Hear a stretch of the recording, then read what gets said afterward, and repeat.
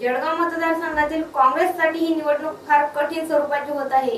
काँग्रेससाठी संभाव्य अकरा उमेदवारांपैकी संभाव्य उमेदवार कोण? यामध्ये फार मोठ्या प्रमाणात तारेवरची कसरत करण्यात आली. आणि यामध्ये पास झालेल्या स्वाती वाकेकर यांना आज रोजी अनेक समस्यांना सामोरे जावे लागत आहे. मागील दोन निवडणुका लढणारे बाळासाहेब पाटील यांना उमेदवारी न मिळाल्याने ते व त्यांचा गट फार निराश झालेला आहे. अशा अवस्थेत त्यांच्या अंतर्गत बंडखोरी होणार नाही ना?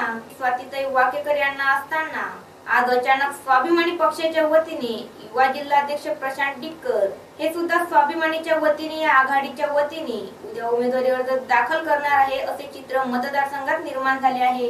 अशी विदारक स्थिती असताना स्वाती वाकेकर यांची उद्याची उमेदवारी नामांकन ही अग्निपरीक्षा खाणार एवढे निश्चित.